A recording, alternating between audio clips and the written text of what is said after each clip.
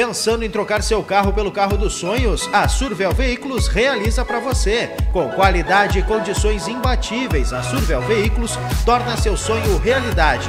Venha nos visitar. Estamos na rua Cristóvão Gomes de Andrade, 1413, em Camacuã. Ou acesse facebook.com/barra Siga Survel.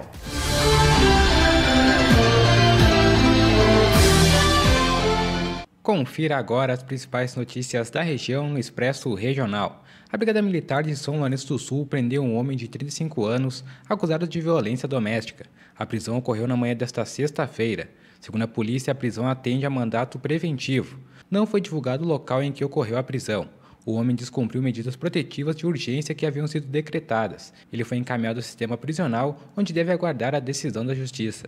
Na quinta-feira, após receber uma denúncia através do telefone 190, a Brigada Militar abordou um homem e uma mulher do bairro Isabel com 709 reais em notas falsas. O casal tentava repassar as notas no comércio de Canguçu, quando acabou levantando suspeitas de um comerciante que acionou a Brigada Militar. Após serem abordados, o casal foi encaminhado ao pronto-socorro do Hospital de Caridade de Canguçu para exames e em seguida à delegacia de polícia onde foram presos em flagrante.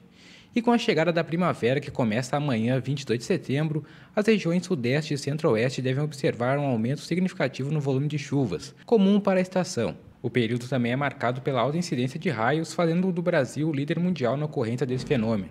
Segundo o levantamento feito pelo Grupo de Eletricidade Atmosférica do Instituto Nacional de Pesquisas Espaciais no ano passado, a média anual de raios a atingirem o país nos últimos seis anos foi de mais de 77 milhões.